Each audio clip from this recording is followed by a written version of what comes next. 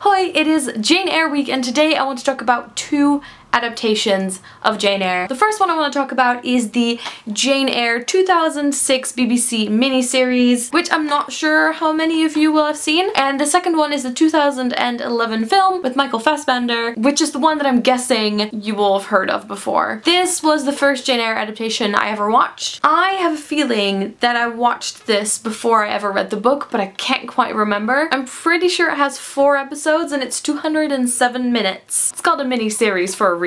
It's a tiny bit dated when it comes to the DVD menu and the fact that it's 4x3 instead of widescreen. But the first thing, and probably one of the most important things, is that the actress who plays Jane Eyre, to me, is just the ultimate Jane Eyre. Jane is always described as being very plain and I feel like this is sort of weird to talk about. I feel like this actress is sort of plain, but she has a really striking face. She is really good at the sort of weaker side of Jane and like blushes like a schoolgirl, but then she really shines when it comes to the sort of darker and more dramatic scenes. And then Toby Stephens, who is Mr. Rochester, is also really good at being dark and brooding, but also does open, friendly Rochester really well. One of the things that I really like about this adaptation is the soundtrack, and it's not available anywhere. Like I haven't been able to find it and I really, really want it. This is a really straightforward adaptation. When I was rereading the book, there's so many quotes that are just directly put into this is by far my favorite. I'll also always remember when the girls go to wash their faces at the Lowood school,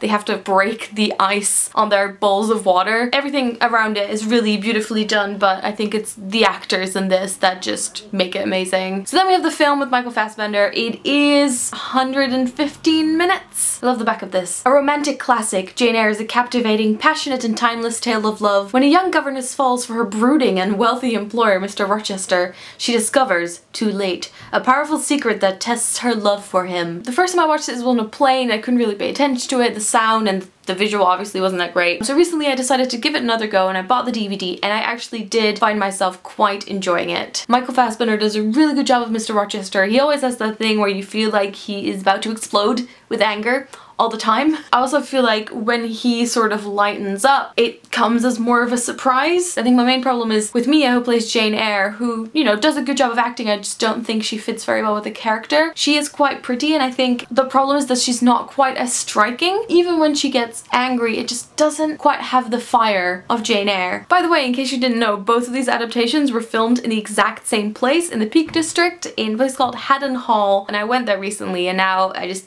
know every corner of this building and it's really really weird but I wonder if that is something that you would notice if you just happen to watch both of them. Same garden, same view, same building. While I was rereading Jane Eyre I actually listened to the soundtrack of the film and I found that that was really sort of relaxing but obviously set the right atmosphere so I really really enjoyed that. Also one thing about the film is that they do a non-linear sort of thing where it starts when she's running away from Thornfield Hall and then there's a lot of her sort of remembering what the beginning is which I guess sort of keeps it more entertaining but I'm definitely a bigger fan of the straightforward storytelling in this case because then the sort of scene where she's fleeing and everything that comes after it means so much more if you already have the context of the rest of her story. If you've seen any of these adaptations, let me know in the comments what you thought. Try and avoid any spoilers in case people have not seen the films yet or read the book. I hope you enjoyed this video. I will talk to you guys later and I'm gonna finish watching the film now because when I put it in my laptop to just look at the first five minutes to kind of remind myself what it was like, I accidentally watched the first hour. I'll talk to you guys later. Doei!